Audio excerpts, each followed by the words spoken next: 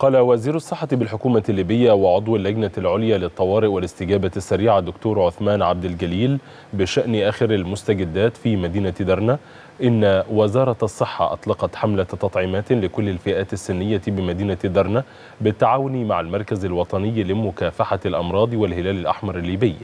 وأشار وزير الصحة الليبي إلى أن الحملة شملت كل سكان المدينة فضلا عن الأطقم الطبية والعسكرية. وكل اللجان والجهات العاملة داخل مدينة درنا. التطعيمات كما ذكرت هي لثلاث فئات. بالنسبة للفئة اللي يشتغلوا في في في في عمليات الإنقاذ هذا نوع خاص من التطعيمات اللي هو التطعيم الثلاثي بيقولوا له. والفئة اللي هم في المرافق الصحية بيتلقوا الهيباتيتس B. بالنسبة للأطفال سيأخذوا التطعيمات العادية من ال Hepatitis A وال Hepatitis B وغيرها وشلل الأطفال وال MMR فهذه كلها يعني تركيبة كاملة. يعني هي هذه العملية مشرف عليها المركز الوطني للأمراض ويعرفوا جيدا يعني شنو لكل حالة أو شنو اللي متوقع الضرر اللي يلحق بها وشنو التطعيم الخاص بها